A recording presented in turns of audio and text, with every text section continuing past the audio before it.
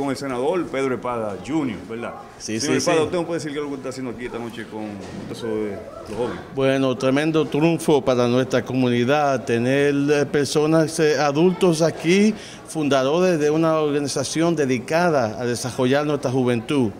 Y mi papel aquí es simplemente para darle a ellos a conocer que los apreciamos, no solamente por el deporte, sino por el respeto a la educación también. Señor Espada, este, yo- esto está lleno de gente, pero yo no veo lo- la gente que te critican a ti tanto por las cosas buenas que tú haces. A mí que te, te molesta que eso no es el lado bueno que ven de ti. No, no, que va, expliqué ahí en mis comentarios que los medios nunca eh, están celebrando lo positivo. Así es que lo importante es tener los padres, los abuelitos, la familia lo y, los líderes también reconocer eh, lo bueno que hay en nuestra comunidad.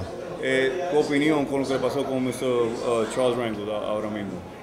Bueno, eh, eh, aprecio lo que la decisión que hizo porque no quería traer atención negativa al Congreso y a- en particular los demócratas.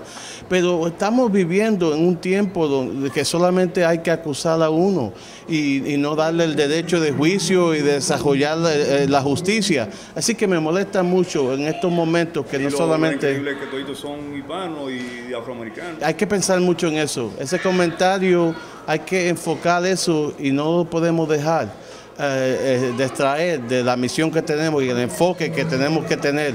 Yo, como el líder mayoritario del Senado, me voy a quedar enfocado en nuestra comunidad, por supuesto, y otorgarle los servicios que se merecen. Por fin, eh, lo que le están haciendo a, a Patterson también, tú tienes que, te, que doler que con buena intención eh, todo él es bajo un microscopio. Bueno, yo le pido y visité a- a- con el gobernador y le pido que no renuncie y que siga ahí siendo gobernador por 300 días más. Tiene que darle el mensaje a esta juventud que nosotros no tenemos que dar eh, pies atrás, sino para adelante siempre.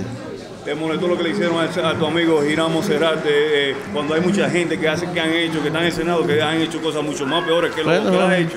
Claro que sí, pero la verdad es que este 16 de marzo, Girán Monserrate en la columna Si se puede va a ganar las elecciones. Bueno, yo espero que tú tengas la misma fuerza que tú tienes este, para hacer las cosas positivas y batallar todos los enemigos. Ah, so- tiempo. gracias a usted, muchísimas gracias. Thank you,